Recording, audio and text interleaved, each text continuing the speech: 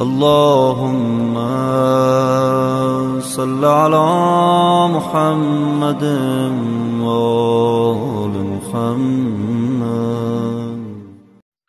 اعوذ باللہ من الشیطان الرجیم بسم اللہ الرحمن الرحیم اللہم صلی علی محمد و آل محمد میرے تمام سننے اور دیکھنے والے مومنین اور مومنات کو میری طرف سے میرے چینل ناطق قرآن کی جانب سے السلام علیکم۔ ایک شخص ہے جو صحابی ہے، حضرت امام جعفر صادق علیہ السلام کا، اس کا نام ہے محمد ابن زید شہام۔ یہ کوفے کا رہنے والا ہے، یہ مدینہ آیا اور مسجد میں جناب حضرت امام جعفر صادق علیہ السلام نے جب اس کو دیکھا، مسجد سے فارغ ہو کر گھر گئے اور اپنے غلام کو بھیجا کہ جاؤ، محمد ابن زید کو بلا کے لے کر آؤ گھر پہ۔ غلام گیا، مولا کا پیغام دیا، محمد ابن زید جو ہے، مولا کی خدمت میں حاضر ہوا۔ تو جب آیا، تو مولا ارشاد فرماتے ہیں کہ مجھے بتاؤ کہ تم کہاں سے آئے ہو؟ تو اس وقت یہ کہتا ہے کہ مولا، یہاں پر کوئی جگہ ایسی رہ گئی ہے جو آپ کے محبوں کے لیے امن کی جگہ ہو، جہاں پہ آپ کے محب جو ہیں وہ بہترین طریقے سے رہ سکیں۔ کوئی ایسی جگہ ہے سوائے کوفہ کے؟ تو مولا پھر پوچھتے ہیں، پھر بھی مجھے بتاؤ تم کہاں سے آئے ہو؟ تو اس نے عرض کی کہ مولا میں کوفہ سے آیا ہوں۔ مولا فرماتے، کوفہ میں کسی کو جانتے ہو؟ کہا ہاں میں وہاں پر بشیر نامی شخص سے واقف ہوں۔ مولا نے فوراً پلٹ کے اس سے پوچھا، یہ یہ جو شخص بشیر جسے تو کہتا ہے تو واقف ہے، یہ تیرا خیال رکھتا ہے؟ تیرے ساتھ کیسا سلوک ہے، تیرے ساتھ کیسا معاملہ کرتا ہے؟ تو محمد ابن زید کہتا ہے کہ نہیں مولا، یہ بہت سخت مزاج ہے، یہ خیال نہیں رکھتا۔ تو مولا ارشاد فرماتے ہیں کہ بہترین انسان وہ ہے جو صلہ رحمی کرے اور دوسروں کے کام آئے۔ اور پھر مولا ارشاد فرماتے ہیں کہ میں جعفر صادق علیہ السلام کوئی رات ایسی نہیں میری گزرتی کہ جب تک میں کسی کی مشکل کو حل نہ کروں، کسی کے کام نہ آ جاؤں۔ کوئی شب میری کسی کی حاجت پوری کیے بغیر نہیں گزرتی۔ مولا فرماتے ہیں کہ تیرے پاس کتنا مال ہے؟ تو یہ کہنے لگا، مولا میں غریب آدمی ہوں، میرے پاس تقریباً دو سو جو ہے وہ دینار ہیں کہ دو سو درم میرے پاس ہیں۔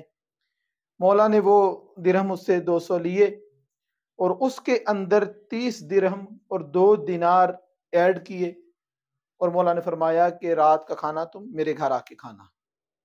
وہ آیا، مولا کے گھر، رات کا کھانا کھایا، واپس کوفہ کی طرف چلا گیا۔ اگلے سال پھر جب یہ مدینے آیا، اس واقعے سے پتہ چلتا ہے کہ پہلے بھی یہ حج پہ آیا تھا۔ دوسرے سال جب نیا آیا، اگلے سال پھر حج پہ یہ جب آیا، تو اس نے مدینہ چکر لگایا۔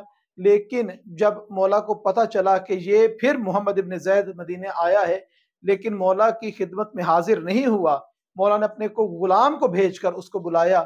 اور بلا کے جب یہ آیا مولا نے دریافت کیا کہ بتا کہ تو نے مجھ پر ظلم کیوں کیا ہے؟ تو نے ہمارے ساتھ زیادتی کیوں کی ہے؟ تو اس وقت یہ محمد ابن زید کہتا ہے کہ مولا کہ آپ کا غلام مجھے بلانے نہیں تھا آیا، اس وجہ سے میں کوئی مطلب یہ کہ اس کو کوئی بات نہیں ملی، کوئی بہانہ نہیں ملا، تو اس نے یہ کہا کہ مولا آپ کی طرف سے غلام نہیں آیا، اس لیے میں نہیں آیا۔ تو اس وقت مولا فرماتے ہیں کہ جتنے دن تو یہاں پر ہے مدینہ میں، تو یہ سمجھ کہ میں ہی تیرا غلام ہوں۔ یہ جناب امام صادق علیہ السلام کا محب ہے، حقیقی چاہنے والا ہے، جس سے مولا اتنی محبت کا اظہار کر رہے ہیں، اتنی آجزی کا اظہار کر رہے ہیں کہ اب وہ پردیسی ہے، کسی چیز کی ضرورت ہے، کوئی پریشانی ہے، تو بلا جھجک مجھ سے مانگ لینا اور جتنے دن یہاں پہ رہو گے، کھانا تم میری طرف سے کھاؤ گے۔ اس نے کہا، مولا کا جو حکم میں ایسے ہی کروں گا۔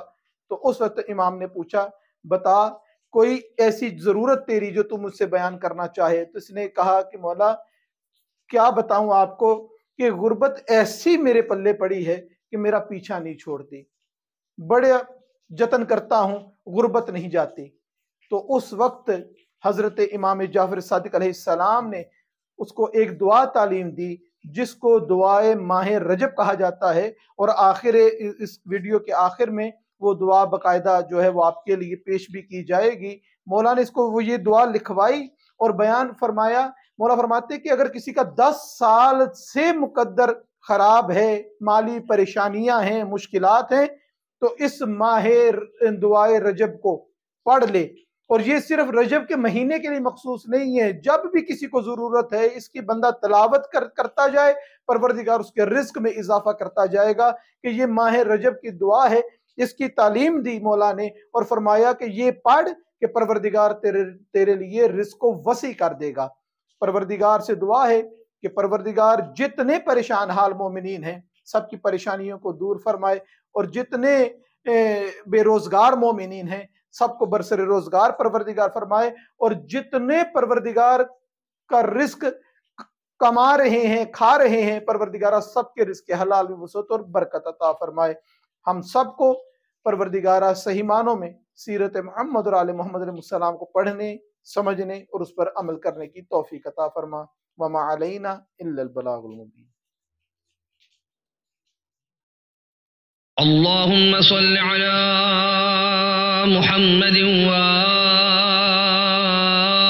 محمد. بسم الله الرحمن الرحيم. يا من نرجو لكل خير وآمن سخطه عند كل شر يا من يعطي الكثير بالقليل. يا من يعطي من سأل يا من يعطي من لم يسأله ومن لم يعرف. تحننا منه ورحمة أعطني بمسألتي إياك. جميع خير الدنيا وجميع خير الآخرة. واصرف عني بمسألتي إياك. جميع شر الآخرة. فإنه غير منقوص ما أعطيت وزدني من فضلك يا